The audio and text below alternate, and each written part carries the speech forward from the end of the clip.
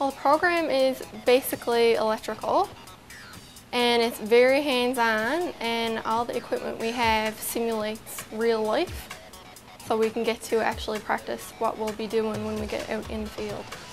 Instrumentation focuses on process control and prepares the students for that industry. What I like about the instrumentation program is that they have equipment here that is related to distributed control systems and PLCs, which is the modern equipment of our field. So this college is keeping up to date with the technology that we need, so there'll be no surprises when we get into the workforce. I really enjoy the class sizes. There's a small number of people in the class, which makes it much easier to learn and more one-on-one. -on -one and you become very close with the people in class.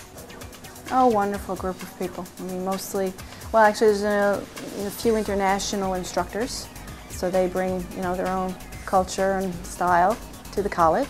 You know, they have their backgrounds and they're very strong in their fields. The Newfoundland teachers are wonderful too, so it's, it's a nice exposure to everybody. The teachers are great, and if you have any problems with anything, they'll take you on for one-on-one -on -one help and answer all the questions that you have.